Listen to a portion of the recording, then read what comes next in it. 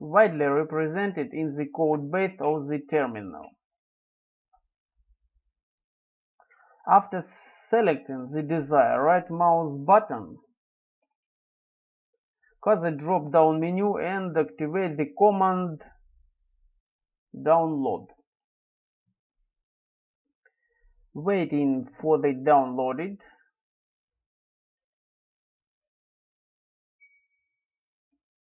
in the setting dialog box to accept to the choose.